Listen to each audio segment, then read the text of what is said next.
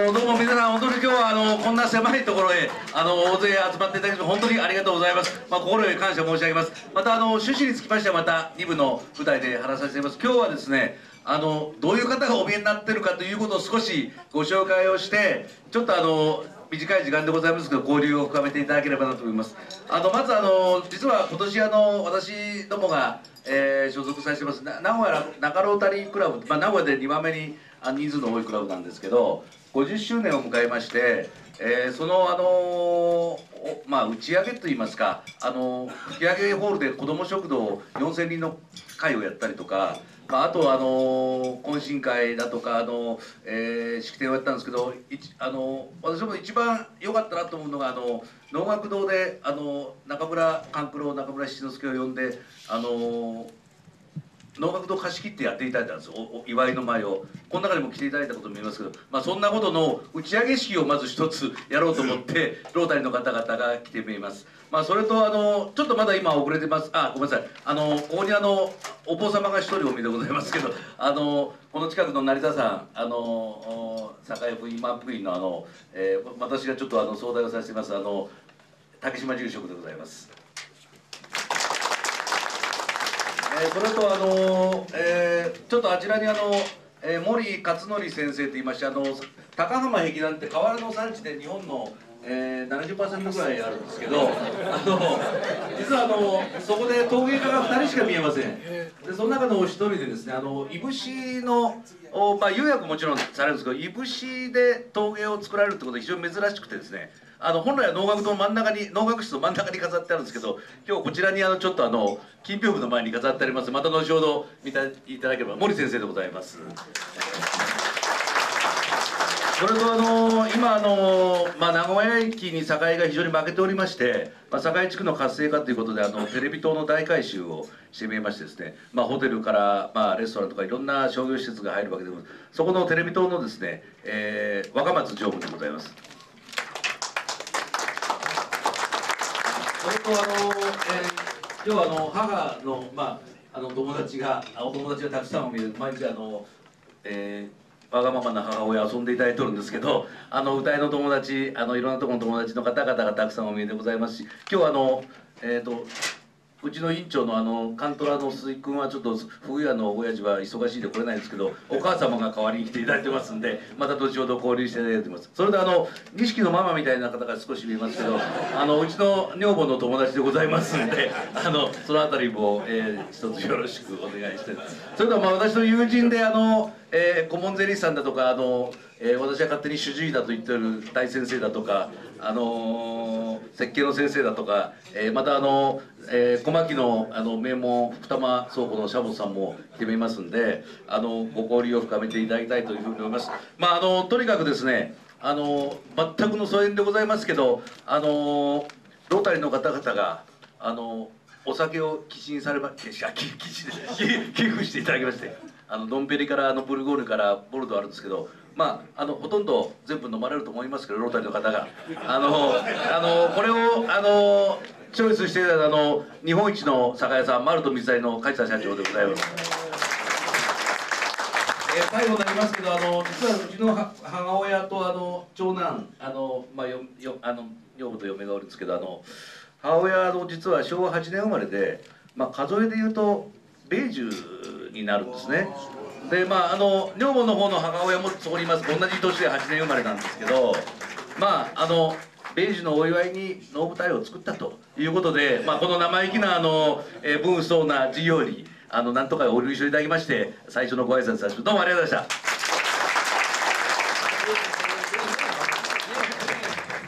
ご紹介いただきました中ロータリークラブの中村七之助。いや今日はあのこの晴れのですね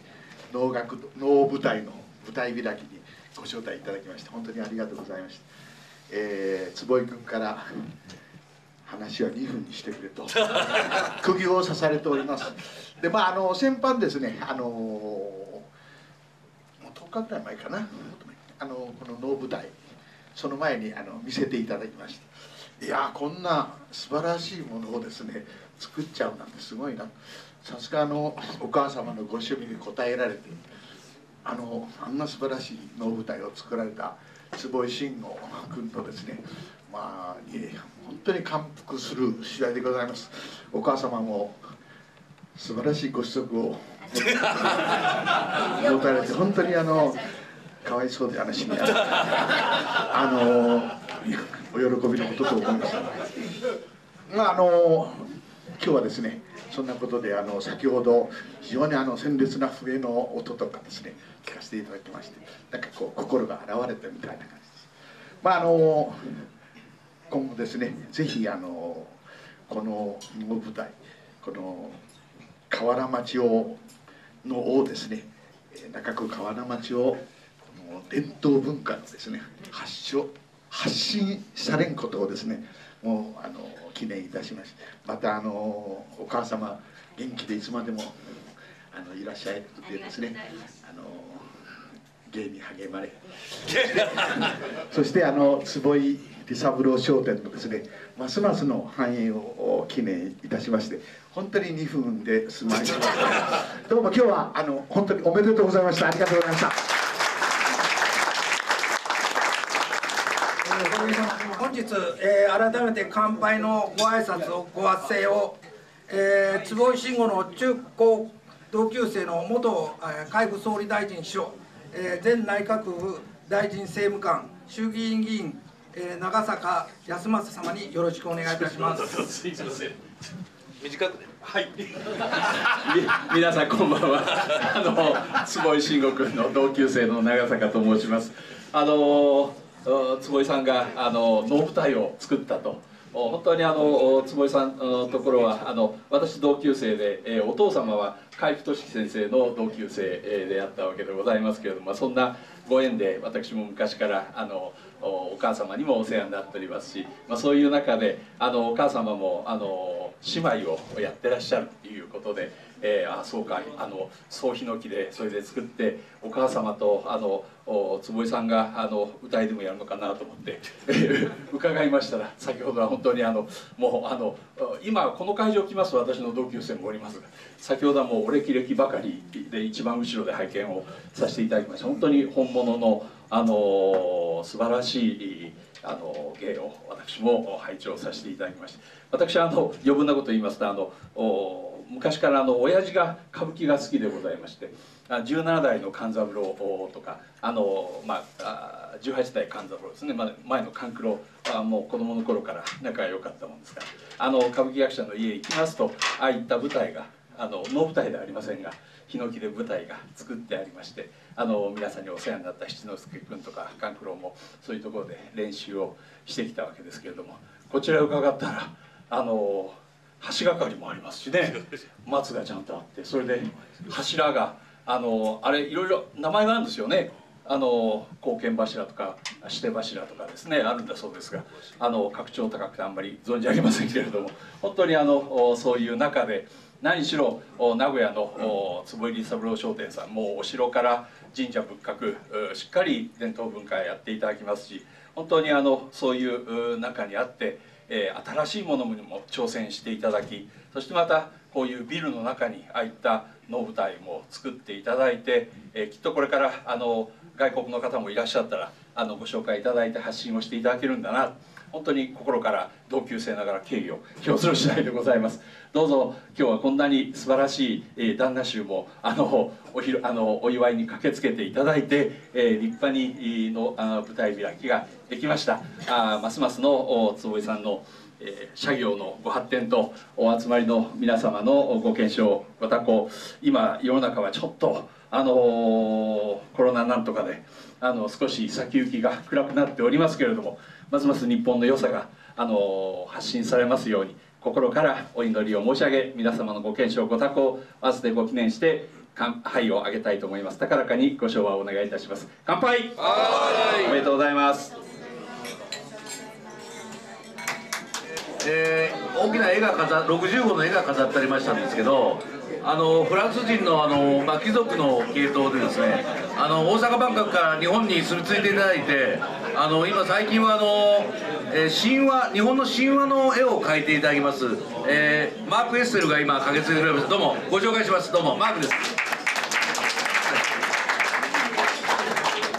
おめでとうございます。あ、危ない危ない危ない。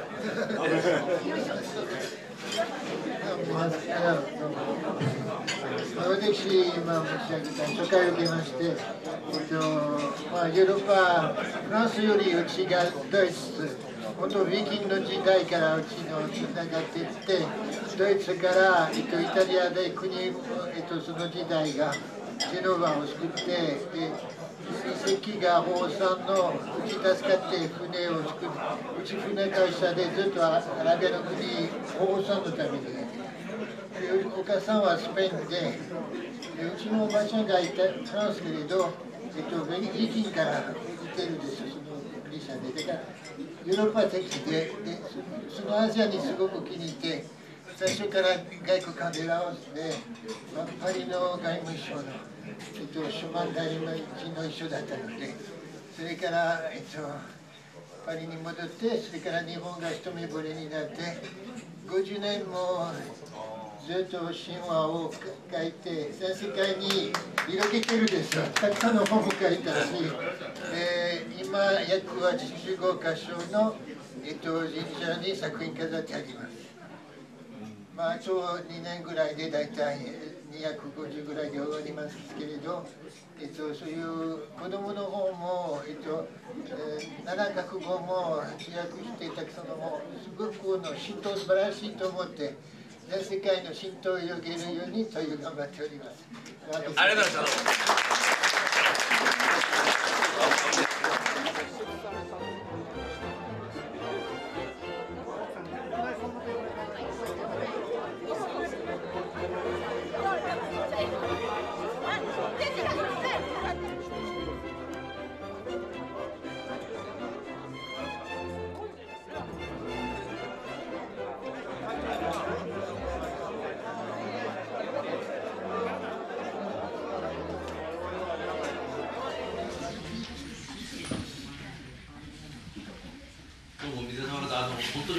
ところ、まあ、本当にこの文武相な会にあのお集まりいただきまして本当にありがとうございました。あの、まあ、実はあのご存知の方も見えると思うんですけどあの私あの無理やりあの5歳から8歳まであの小型をやっておりましてですね、まあ、最初あのまあそれもあの父親と母親が、まあ、のの歌いであのお見合いで結婚したものですから無理やり私にあの歌いをやらせたわけですであのまあ船弁慶というのを最初やりましてで、まあ、こここの、まあ、隅にあの船がありまして、まあ、そこで最初幼稚園の年中の時にあの出たわけです。もうあのむちゃむちゃ苦しかったんですよここがでも苦しいのを我慢していったらですねだんだんあのあの客席から見たら顔が真っ青になってきまして、まあ、それでおふくろがあの行って裏からあのちょっと緩めてもらったんですけど、まあ、そんな思い出がありながらあの、まあ、いずれね機会があったらまたそんな機会があるといいなというふうに思いましたんですけど、まあ、先ほど申し上げましたようにあの、まあ、ベージュの、まあ、プレゼントですね、まあ、こんなことを思いつきまして、まあ、今日こんなような会をさせていただきました。まあ、あのちょっとこの農学室のご説明させてくださいあの、まあ、本来はまあ皆さんご存知なことばかりなんですけど大体あの3軒の3軒ぐらいの能舞台に、まあ、奥奥にあのお囃子のところがまあ1軒以上あって、まあ、またこちらの自由隊が1軒あって、まあ、切り戸口があるというスタイルです。まあ、ここはあの、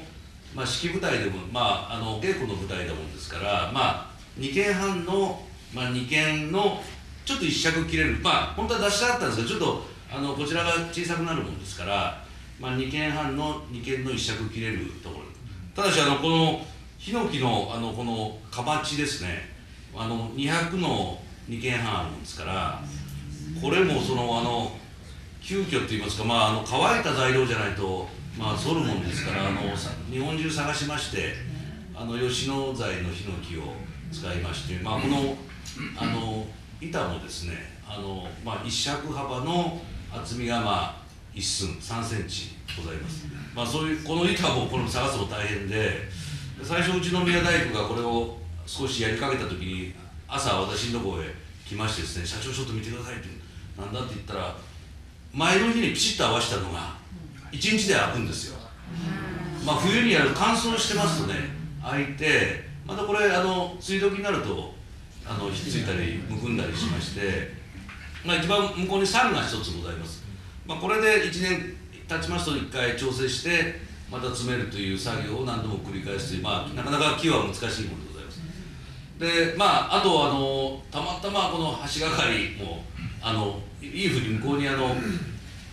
あの控えの間がございましてまあ五色幕も京都でちょっとわざわざさせていたいたんですけどあの橋がかりの、まあ、真似事で、まあ、松も小さな松も、えー、それさせていただきましたしでまあこれビルあのでコンクリートなんですがこれコンクリートの梁が通ってるんですね。でこれがもう天井が低いもんですから、まあ、これもヒノキのコーティングの板で、まあ、工夫をして実は壁はこれ全部あの漆喰を全部漆喰で塗ってございます。まああのそんなことであのあと先ほども少し説明したんですけど後ろの絵がこれマーク・エステルさんの絵でございましてイザナギイザナミの御事がの天から雫を垂らしここから雫垂れたところの落ちたところにおのころ島ができてもし違っとったらすいません。あのまあそれが今の淡路島でございますけどそれがまあ神様が喜んで遊んどる様子じゃないのかなというふうに少し感じさせていただきました、まあ、あとお花がたくさん飾ってありますけど、まあ、一番こちらがお風呂が好きなまあ本当はちょっと早いんですけどボタンなんですけどまあ、これも長谷寺のあの紅白のボタンで、まあ、お祝いのイメージを出そうかなというふうに、えー、思っております。まあ、あのここまで言いますと、まあ、お前趣味で作ると、まあ、会社大丈夫かということになるわけでございますけど、まあ、実はあの私もあの河原町の河原屋なんですけどあの今河原の仕事が20%もないんですよ。で実はもうこのまま何もしなかったらもう5分の1ぐらいの会社になってたんですけど。まあ、実は今の河原のチャンネルを利用して、まあ、いろんな木造の改修だとか、まあ、あの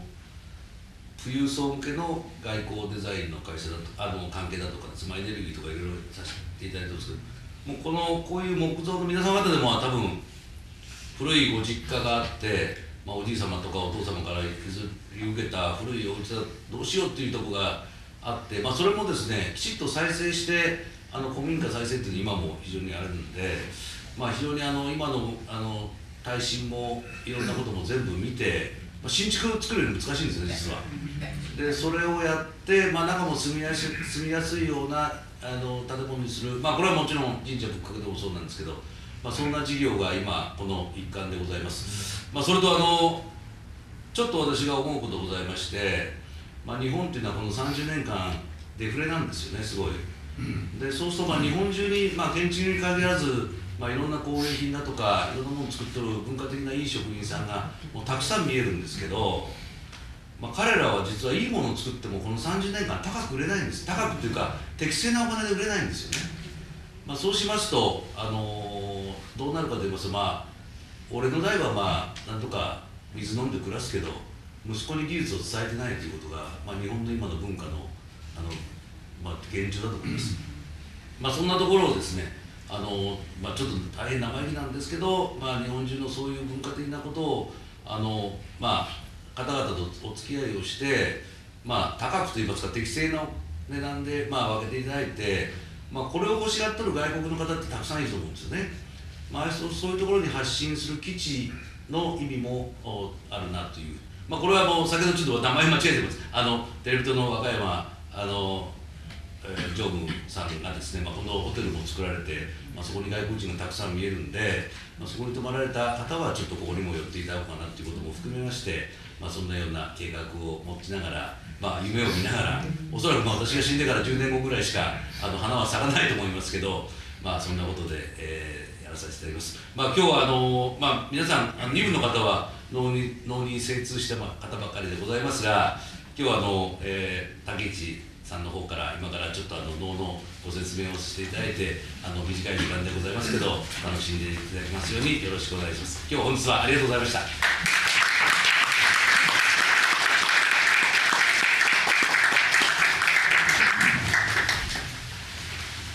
皆様こんばんは。少し時間をいただきまして能のお話をさせていただきます能は室町時代に、えー、できました。あの音楽を伴った劇戯曲であります、えー、題目としましては「源氏物語」平家物語伊勢物語その他日本の古い、えー、物語あるいは中国から渡来しました物語で多く作られております。一方その室町時代というのは大変その人が生きるのに苦労した時代でございます、えー、天災がたくさん起こりました。地震も起こりました。凶作にもなりました。人は上に苦しみました。その上日本のあちこちで戦争もまだ行っていました。そんな時代になんとかその国民が希望を持てるように、えー、皆がその幸せに暮らせるというようなことから能の題目に、えー、国土安穏とか子孫繁栄それから五穀豊穣というような人間の基本的なものを織り込んだ能がまた数多く作られました。本日はこの舞台開きというおめでたい、えー、時なのであの能の中のおめでたいところを、えー、全て題目に取り入れさせていきました、えー、皆さんお手持ちの今日のプログラムをご覧いただきたいと思います演目の紹介というところです。まず、上歌、天下太平国土安穏を祝う。えー、皆さんご存知だと思います、沖縄のあの師匠といいますか、言葉を、えー、今日は渋滞の含めた4人であの歌わさせていただきます。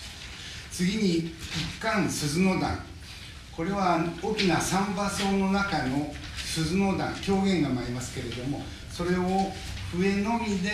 演奏いたします次に独調司会団これは能高砂高砂ですから皆さんの時代劇の結婚式で高砂やこのグラブでよくご存知だと思いますけれども、えー、かなり長久といいますかいつまでも長仲良くいきましょうと子孫繁栄とそういうようなことほぎの曲であります。次に一教一貫学。これはあの舞物の中で学という非常にその華やかな曲があります。これを大鼓と笛で演奏いたします。最後の姉妹少女。これは中国の物語でして大変親孝行な息子、えー、家族がありました。その家の前にの水がめがありましてその水がめがお酒に変わってしまう。くめどもくめどももう常にこの水あお酒にいっぱいになってしまう。ちょうどあの日本の養老の滝と同じようなお話ですけれどもそれで長くこの家を繁盛し、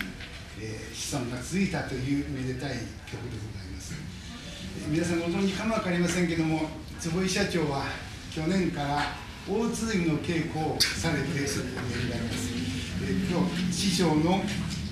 川村慎之介さんそれからお父様の川村宗一郎さんそれから、えー、笛で竹市が、え、演じさせております、え、この林の3人は国の重要無形文化財の総合保持者でございます。どうぞ皆さんお楽しみいただきますようよろしくお願いします。